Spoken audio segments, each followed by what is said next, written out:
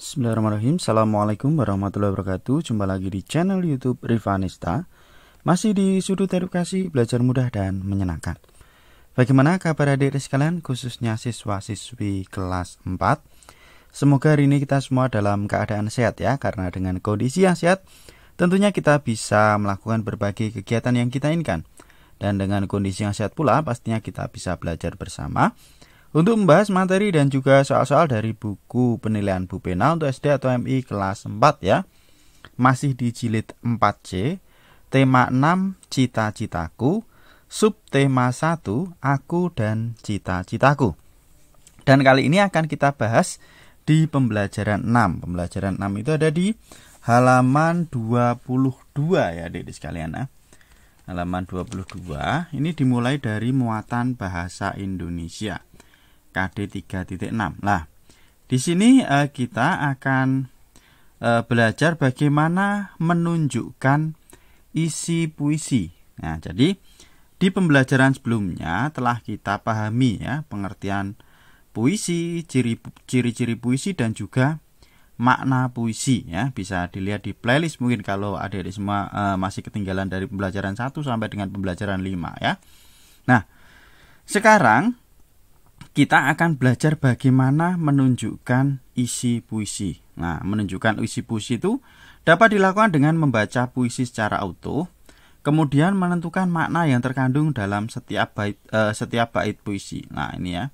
Uh, untuk menguji pemahaman, uh, adik-adik sekalian diminta untuk mengerjakan keterampilan portofolio ya untuk menunjukkan isi puisi. Jadi yang pertama buat kelompok dengan tiga temanmu, kemudian setiap kelompok menyalin sebuah puisi dari majalah atau koran. Nanti akan saya berikan satu contoh puisi ya di sekalian ya.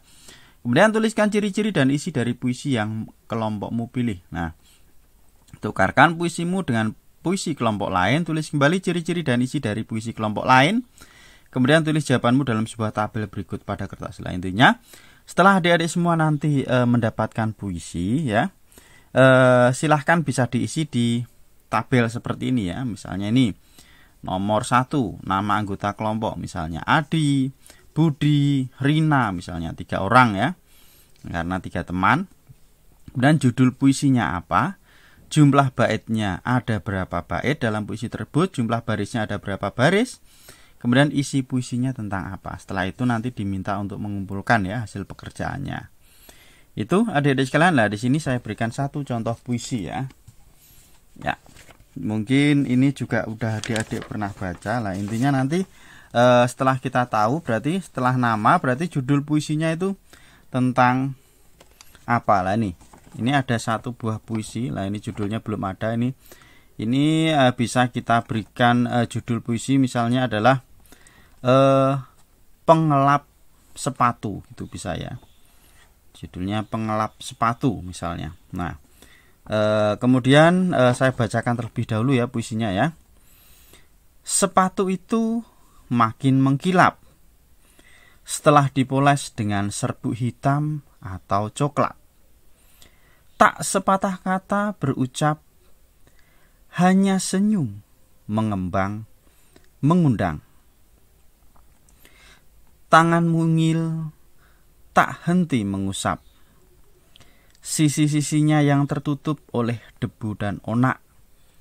Sesekali peluh mengembun di wajahnya.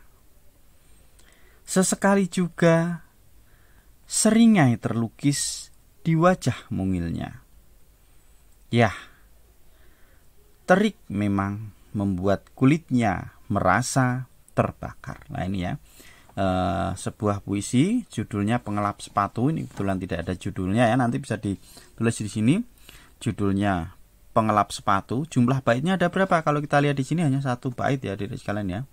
Karena biasanya membedakan antara bait satu dengan yang lainnya itu dikasih jarak. Kalau ndak biasanya uh, dibuat uh, menjorok ya.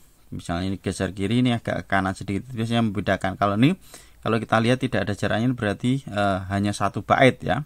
Kemudian jumlah uh, bait sudah jumlah baris kita hitung ada berapa baris? 1 2 3 4 5 6 7 8 9 ada 9 baris ya. Puisi ini ada 9 baris. Kemudian uh, isi puisi lah, isi puisinya di sini sudah dituliskan ya, isi puisi. Jadi isi puisi tersebut adalah perjuangan tukang pengelap sepatu. Ia tak kenal lelah dan terus bersemangat dalam menjalankan tugasnya.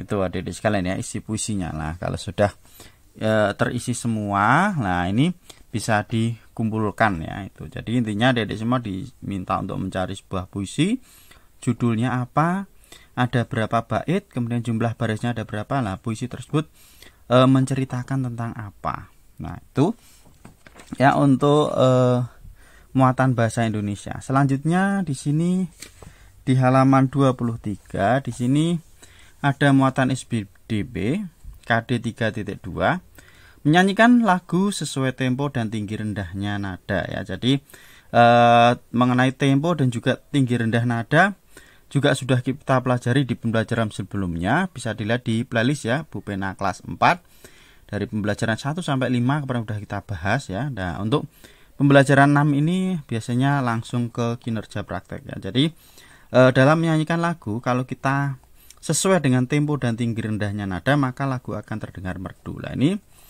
e, untuk kinerja praktek adik-adik diminta untuk menyanyikan lagu ya. Nyanyikan lagu berikut sesuai tempo secara bergantian. Nah ini ada lagu Bangun Pemudi Pemuda ciptaan A Simanjuta dengan tempo D Marsia dan yang kedua ada lagu Nyur Hijau ya ciptaan Maladi dengan tempo Andante. Nah ini. Oke. Di sini coba akan saya nyanyikan ya. Kita nyanyikan bersama-sama. Akan saya beri contoh saja. Di sini sebenarnya ada untuk lagu Bangun Pemudi Pemuda lah ini. Ciptaan A Simanjuta ya. Temponya tadi adalah di Marsia ya. Tempo di Marsia itu apa? Mungkin kalau adik-adik masih lupa lah. Ini ya tempo di, tempo di Marsia itu eh, dinyanyikan seperti orang berbaris ya. Tuh. Oke, kita nyanyikan bersama-sama untuk bangun pemudi-pemuda ciptaan A Simanjuta. Ayo.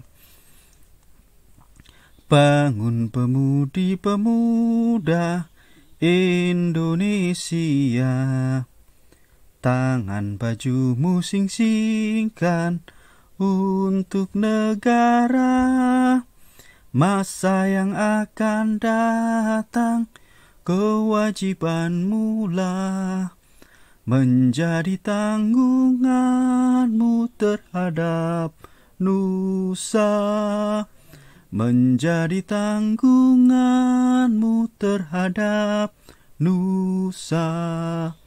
Sudi tetap berusaha, jujur dan ikhlas. Tak usah banyak bicara, terus kerja keras. Hati teguh dan lurus, pikir tetap jernih. Bertingkah laku halus, hai putra negeri. Bertingkah laku halus, hai putra negeri. Nah itu kira-kira lagunya ya adik-adik sekalian ya. Uh, untuk bangun pemudi-pemuda dengan tempo di Marsia ya. Oke. Nah, ini bisa dinyanyikan secara bergantian. Oke. Jadi untuk uh, kinerja praktek ya sudah saya berikan contoh.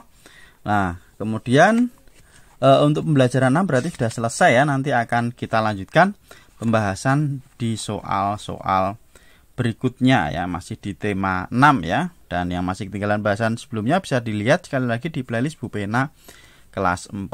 Saya rasa cukup sekian untuk pertemuan kali ini dan mohon maaf apabila ada kekurangan.